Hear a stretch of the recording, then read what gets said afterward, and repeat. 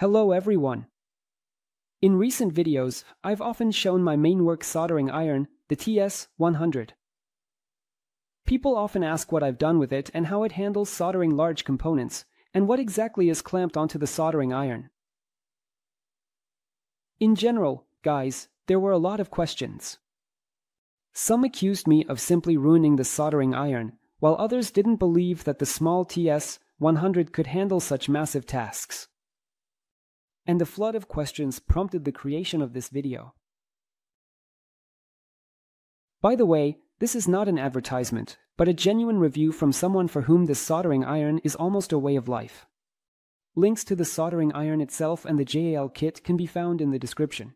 And I'll add that this is not a review of the soldering iron.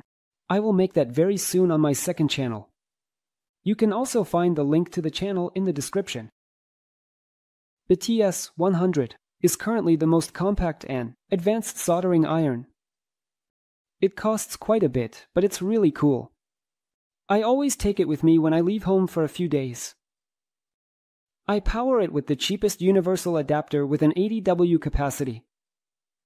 Although I also have better power adapters, converters, and batteries for various situations. At the very beginning, I'll say that I've had this particular soldering iron for over a year. It has the original tip, that came with the set. I solder very actively for 3 to 4 hours a day regularly, without weekends or holidays. I think I might be the first person to completely wear out the non-burnable tip of the TS100. By the way, just the tip costs 10 to $12. I also have another TS100 soldering iron but with a sharp tip, which I don't really like for soldering. And since waiting for new tips from China takes at least a month, if not two, I decided to slightly refurbish a completely worn out old tip. This brought several huge advantages. First, the contact area of the tip increased. Second, the non-burnable coating is good, but the thermal conductivity of copper is better. In short, such a tip heats up faster and more intensely. Thanks to this, you can solder anything you want. And, finally, third, in such tips, the thermal sensor is located very close to the tip. And, by grinding the tip to such an extent, it turns out that I got even closer to the thermal sensor. Thanks to this, the soldering iron's electronics instantly react to the slightest temperature fluctuations at the tip and immediately increase the power. The downside is the lifespan of such a tip. The copper burns out fairly quickly, and you have to grind the tip every week.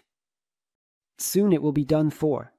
I hope that by then a new tip will arrive from China. But soldering with such a modified tip was a real pleasure. And now, let me show you what the soldering iron is capable of. Afterwards, we'll take it apart, and I'll show you what's inside. To avoid additional questions, I'll note that you won't achieve these results with the original tips. And by the way, during the tests, I didn't use any fluxes. Neither active nor passive. The flux in the form of rosin is in the solder itself. The solder is good but expensive. For the last two years, I've only been using this kind and I recommend it to you. Let's go.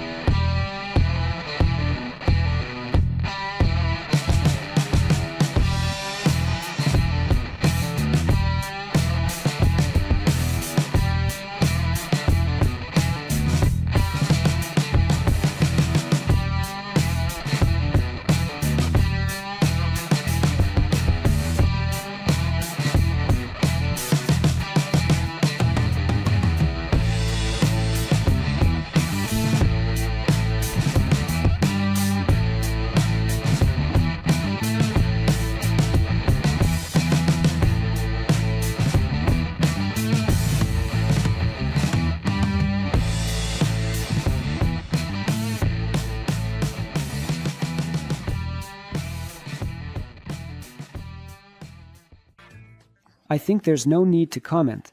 Let me remind you that the soldering iron itself is only 65 watts. And a few words about the solder itself. I buy this from local suppliers. It's good because it melts easily, the flux content is adequate, it hardly smokes when melting, and it provides a very reliable connection. It also doesn't crack, and the printed tracks coated with this solder will shine beautifully forever. I'll try to find the same solder on AliExpress, and if I do, you'll find the link in the description.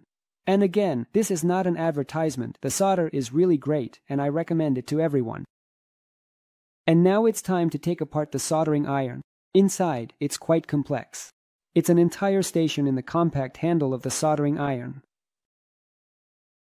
A powerful 32-bit STM32 processor controls all of this, with an accelerometer board nearby. On the main, or power board, you can see quite powerful field assemblies that directly control the heating element. There are many tips for this soldering iron. They are all made using the same technology. Completely, monolithic with a non-stick coating, and most importantly, quick release.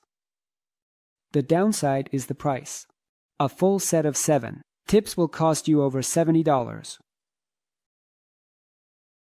The TS100 is equipped with a small OLED display that shows all the necessary information.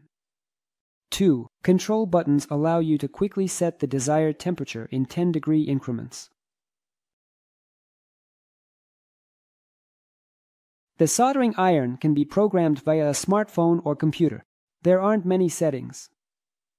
You can change the idle time, after which the soldering iron will start to lower the temperature, the time to enter sleep mode, the tip heating temperature, after turning on, and so on. When you're not using the soldering iron, it lowers the tip temperature to 200 degrees by default. After some time, it turns off completely. This is very convenient when you have a small child at home. It's almost impossible to get burned by such a soldering iron. As soon as you pick up the soldering iron, the accelerometer will activate and automatically start heating the tip to the temperature you previously set. The biggest feature is the smart heating system. As I mentioned earlier, the thermocouple in these tips is as close to the tip as possible. The PWM control system will automatically increase the power.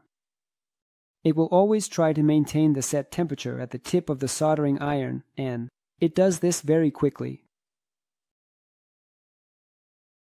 This feature eliminates issues such as an underheated or unheated soldering iron, lack of power, and solder cooling due to low heat capacity of the tip, along with other problems familiar to every electronics hobbyist. This soldering iron is sufficient for absolutely any electronics hobbyist tasks. Even a 100 watt soldering iron would envy this little guy. Additionally, the T100 heats up from 0 to 300 degrees in just 10 to 12 seconds. This is faster than any other soldering iron, at least several times over. The power supply voltage range for the soldering iron is from 12 to 24 volts. Naturally, the lower the supply voltage, the lower the power and the longer the tip heating time.